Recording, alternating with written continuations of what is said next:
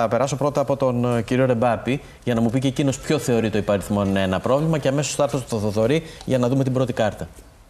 Κοιτάξτε, καταρχάς δεν είναι εύκολο να, να κατηγοριοποιήσει τα προβλήματα. Με την έννοια ότι ένας 20χρονο σε σχέση με ένα 30χρονο, ο 20χρονο δεν αντιμετωπίζει το ζήτημα της δημιουργίας οικογένειας άμεσα. Αλλά νομίζω ότι ένας τίτλος που μπορεί να μπει σε αυτή τη, στη νέα γενιά είναι η ανασφάλεια.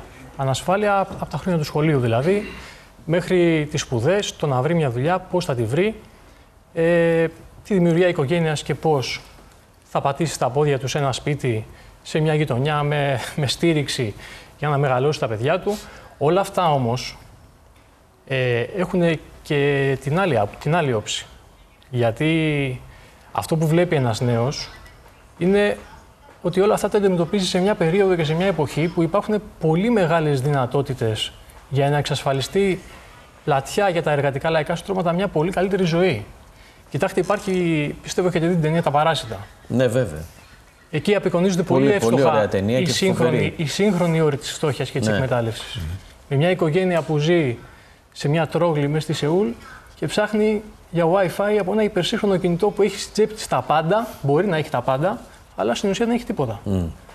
Άρα έχει πολύ μεγάλη σημασία η νεολαία, η νέα γενιά, όχι μόνο να, να δει τα προβλήματα κατάματα, να δει και τις αιτίες, γιατί αυτές οι κρίσεις στις οποίες αναφερθήκατε, η οικονομική καπιταλιστική κρίση του 9 έως το 15, Αργότερα ένα μικρό διάλειμμα ανάκαμψης. Μετά η πανδημία, νέα κρίση και τώρα πόλεμος και νέα κρίση επίσης σε επίπεδο Ευρωπαϊκής Ένωσης Ευρωζώνης και στην ελληνική οικονομία.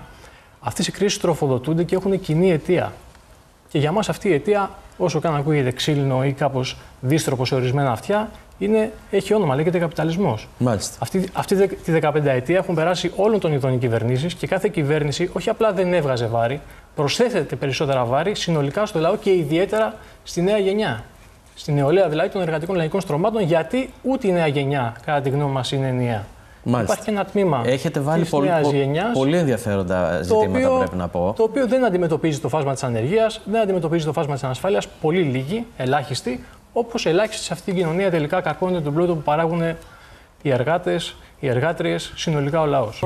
πολιτικοποίηση. Πώς το ορίζουμε το διεξάγω, διεξάγω και συμμετέχω στην πολιτική, έτσι. Πολύ σωστά. Και τι σημαίνει πολιτική, ο όρος τι σημαίνει πολιτική; Δεκαετία 60-70 με τα κοινωνικά κινήματα και όλα αυτά ήταν ναι. άλλο πράγμα. Ναι. Ναι. Αλλά πούμε, πριν κάποια χρόνια, όχι πολλά, πριν δύο χρόνια, είχαμε τις μεγαλύτερες μαθητικές κινητοποιήσεις των τελευταίων 20 χρόνων. Ναι. Αυτό όμως δεν τι, συνεπάγεται. Πώ μεταφράζεται; Ε, έχετε, Παν, έχει πάντως, πάρα πολύ δίκιο. Γιατί, είναι πολύ εύστοχο γιατί, ερώτημα. Πώς μπορεί να έχεις και πολιτική αντιπαράθεση και πολιτική νέους. διαπάλη και, και διεκδικήσεις συλλογικά. Ναι των μαθητών, αυτό πώς μεταφράζεται; Ναι, πώς μεταφράζεται; Και, σε, ποιο κουτί μπαίνει; Ναι. Θέλω να ρωτήσω τον εκπρόσωπο του Κουκουέδο, ο οποίο είναι ένας νέος άνθρωπος και τον έχω δει μέχρι τώρα ότι όλα αυτά που μας λέει όντως είναι θέματα που αφορούν τους νέους ανθρώπους. Έχω παρατηρήσει το εξής. Το Κουκουέ έχει μια έτσι, άρνηση να μπει στο παιχνίδι των social media.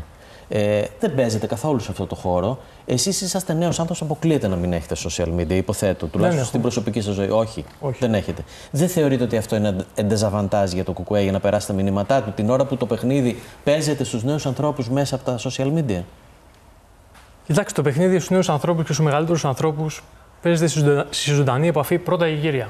Αυτό είναι αυτό. Πρώτα η γύρια. Ναι. Εμείς δεν υποτιμάμε καθόλου τη δυνατότητα που έχουν τα social media όλων των ειδών στο να επηρεάζουν, να διαμορφώνουν στάσεις, κριτήρια, συνειδήσεις και δεν το υποτιμάμε γιατί έχουμε καθαρό αυτό που δεν έχει υποθεί ακόμα στη συζήτηση ότι παρά το ότι υπάρχει διαφοροποίηση ως προς το από πού πληροφορείται ένας νέος, ναι. είναι σαφές, ε, μιλάμε πάλι για μέσα τα οποία ελέγχονται από μεγάλα οικονομικά, επιχειρηματικά, ακόμα και γεωπολιτικά συμφέροντα που κατευθύνουν την πληροφορία. Άρα καταλαβαίνουμε πάρα πολύ καλά την ασφυξία που νιώθει ένας άνθρωπος από, από, αυτό που λέμε παραδοσιακά μέσα μαζικής ενημέρωσης mm. και την αναζήτησή του να βρει κάπου κάτι διαφορετικό που να τον αγγίζει να αφορά τη ζωή του. Αλλά αυτό δεν θα το βρει ούτε στα social media, κατά τη γνώμη μας. Όσον αφορά τη σχέση του ΚΚΕ με τα social media, εμείς διατηρούμε λογαριασμό επίσημο του γραφείου τύπου του κόμματος όσον αφορά το Twitter για να ε, σαν, σαν πηγή ενημέρωσης. Ναι, δηλαδή, για να κάνετε μια, αυτά την έλεγα, αλλά... τυπική ενημέρωση, ας πούμε. Δηλαδή δεν παίζεται το παιχνίδι εκεί των σχολείων τόσο πολύ. Το παιχνίδι των σχολείων είναι και λίγο παιχνίδι εντυπώσεων, το οποίο δεν είναι ότι δεν μας αφορούν ναι, οι συνέπειες, ναι, ναι. αλλά δεν κρίνεται εκεί. Μάλιστα. Να σας δώσω δύο παραδείγματα ενδεικτικά. Για να κλείσω με αυτά. Θα, στην αρχή θα φανεί άσχετο με τη συζήτηση, αλλά είναι πολύ σχετικό. Ε, πριν λίγους μήνες, ε, σε ένα χώρο εδώ στην Αττική, στον Πειραιά, έγινε ένα εργατικό ατύχημα με ένα νεκρό. Ναι. Στην Κόσκο. Ναι. Εκεί ξεκίνησε μια απεργία η οποία διήρκησε 7 μέρες. Μέχρι αυτή η απεργία να βγει στο γυαλί, έγιναν 7 μέρες απεργίας. Έγιναν δεκάδες κινητοποιήσεις, υπήρχε μεγάλη αλληλεγγύη όλου του λαού της Αττικής και, όλου, και, και όλου του ελληνικού λαού, να σας πω απέναντι στα δίκαια αιτήματα που είχαν οι Ελληνεργάτε. Και εν μέρη την ίδια στάση θα μπορούσε να δει κανείς ότι τηρούσαν και τα παραδοσιακά μέσα μαζικής ενημέρωσης και ένα μεγάλο τμήμα των social media, ναι. γιατί όλοι γνωριζόμαστε μεταξύ μας και όλοι ξέρουμε ότι τα social media είναι μια μάχη μηχανισμών. Κομματικών, επιχειρηματικών. Μάλιστα. Λοιπόν, και δεύτερον, συζητάμε για τα fake news. Εντάξει, είμαστε νέοι, αλλά το 2003 ξεκίνησε να διαλύεται μια χώρα, το Ιράκ, με βάση το ότι οι ΗΠΑ θεώρησαν ότι έχει χημικά όπλα. Με ένα fake news δηλαδή. Θέλω να πω, δεν είναι καινούριο θέμα. Μάλιστα, μάλιστα. Είναι παλιό θέμα και σχετίζεται άμεσα με το γεγονός ναι, ότι η ροή ναι, της πληροφορίας ναι, ελέγχεται ναι, από μεγάλα επιχειρηματικά οικονομικά συμφέροντα και αυτό το βλέπουμε πολύ περισσότερο τώρα, ιδιαίτερα με τον πόλεμο στην Ουκρανία. Μην επεκταθώ περισσότερο, νομίζω όλοι καταλαβαίνουν. Ε, Θέλω να πάμε να δούμε τώρα μια κάρτα. Ποια είναι, κατά τη γνώμη σας, ρωτάτε, τα σημαντικότερα προβλήματα που αντιμετωπίζουν σήμερα οι νέοι στην Ελλάδα και ρωτάτε τους ίδιους τους νέους. Δηλαδή, εδώ έχουμε βάλει τις ηλικίες 17-24 και ε, 25-39. Η άσπρη μπάρα είναι το 25-39 και η νεότερη είναι η μπλε, μπάρα. Ε, Χωρίς βέβαια να είμαι ειδικός, ωστόσο mm. πιστεύω ότι το συγκεκριμένο στοιχείο το οποίο συζητάμε δεν μπορούμε να το συζητήσουμε και να ψάξουμε την απάντηση χωρίς να ψάξουμε τα διπλανά. Έχει, ε, Συμφωνούμε. Λοιπόν, εννοώ δηλαδή όλο αυτό το κλίμα που περιγράφεται ναι. και τα προβλήματα. Και το ένα φέρνει τα άλλο κυριολεκτικά εδώ. εδώ. Και εδώ. Ε, δεν μπορούμε να συζητάμε για τις πολιτικές για την ανεργία. Ουρανοκατέβατε είναι. Ποιος τις έφερε; Έχουμε, είπα στην πρώτη μου παρέμβαση είπα ότι κάθε κυβέρνηση ερχόταν και προσθέθεται περισσότερα βάρη. Όλες οι κυβερνήσεις τι κάνανε για την ανεργία, δίνανε περισσότερα κίνητρα στην εργοδοσία.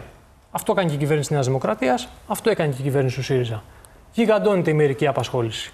Θέλεις να συζητήσουμε και τους μισθούς και τις αποδοχές.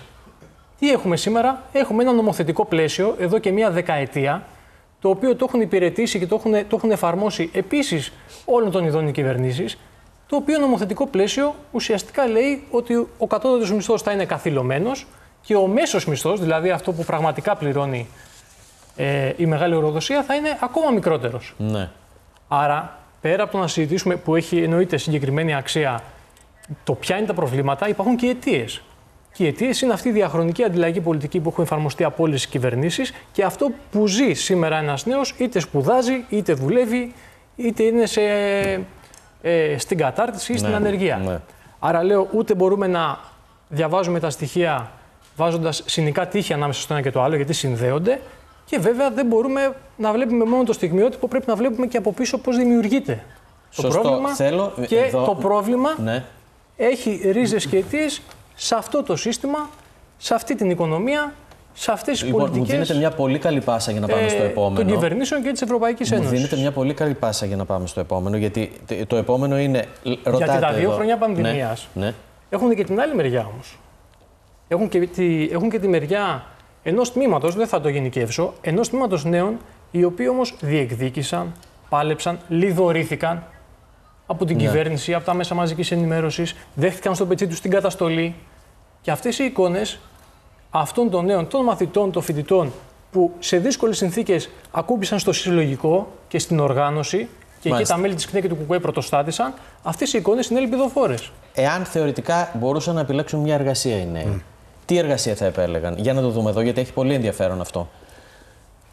Έχουν δύο διαφορετικές. Πάντα μιλάμε για τις δύο ηλικιακές ομάδες. Πρώτο...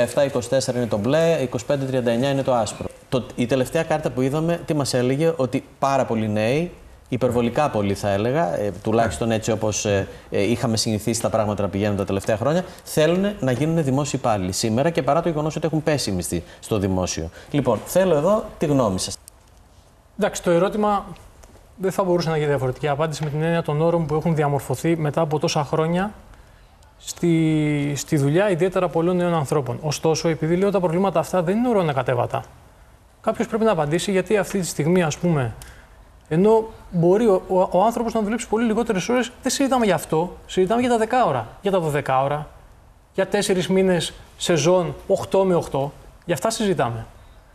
Και εδώ υπάρχουν και πολιτικές ευθύνες για αυτά. Υπάρχουν κατευθύνσεις της Ευρωπαϊκής Ένωσης που υλοποιούνται κατά γράμμα. Υπάρχει η πολιτική της σημερινής κυβέρνησης, η οποία συνεχίζει σε έναν πολύ πιο εχθρικό δρόμο από αυτό που είχαν ανοίξει όλες οι προηγούμενες απέναντι στις ανάγκες των εργαζομένων. Άρα λέω ότι είναι πολύ βασικό θέμα γιατί σήμερα δεν έχουμε κλαδικές συλλογικές συμβάσεις εργασίας; Γιατί σήμερα δεν προστατεύεται το δικαίωμα, ας πούμε, στη μητρότητα; Και μια γυναίκα ουσιαστικά αποθείται από το, από το να, να κάνει παιδί και ένα ζευγάρι αποθείται από το να δημιουργήσει οικογένεια.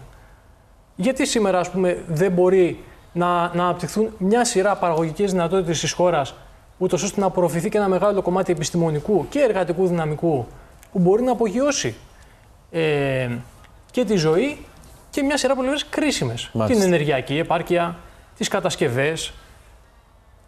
Αντί να συζητάμε για αυτά, κλείνουμε τη Λάρκο. Μάλιστα. Λοιπόν, ε... Θα μπορούσε να προσφέρει σημαντικά και στο λαό της χώρας και στην επάρκειά της και σε μια περίοδο η, η Λάρκο έχει νικέλιο. Το νικέλιο είναι στα ύψη τώρα. Να ρωτήσουμε όμως ναι, τον κύριο ναι. Ρεμπάπη που μάλλον έχει την πιο κοντινή συνομιλία με την ηγεσία εκεί πέρα. Τι ε, τώρα τι, τι να σας πει ο κύριος Ρεμπάπης με την Κίνα, δεν νομίζω. Ε, από πότε τα ράσα κάνουν τον παπά; Ορίστε. Από πότε τα ράσα κάνουν τον παπά; Φαντάζομαι ότι εσείς γνωρίζετε Εσείς έχετε μάλλον σχέση με την Κίνα, γιατί την Κόσκο, ας πούμε, στο λιμάνι του Πειραιά την έχουν φέρει η κυβέρνηση της Νέας Δημοκρατίας, η κυβέρνηση του ΣΥΡΙΖΑ. Λοιπόν, ωραία. Σαράσα δεν κάνουν τον παπά και δεν έχει καμία σχέση η Κίνα με, με κομμουνισμό ή σοσιαλισμό. Η Κίνα είναι μια μεγάλη καπιταλιστική χώρα η οποία αυτή τη στιγμή δίνει μάχη για την πρωτοκαθεδρία με τις ΗΠΑ.